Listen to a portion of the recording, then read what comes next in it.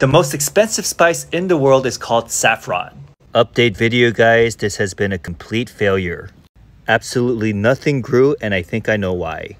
At the time I received the corums, it was one month before I was going to plant it.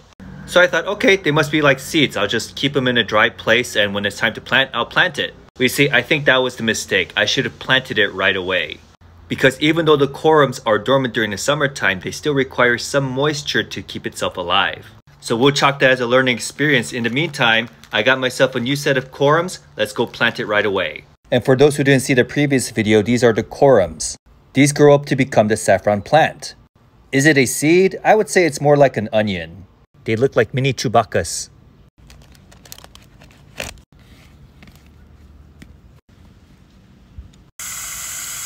I planted the rest in these pots and in my garden bed and over here on the north side of the fence.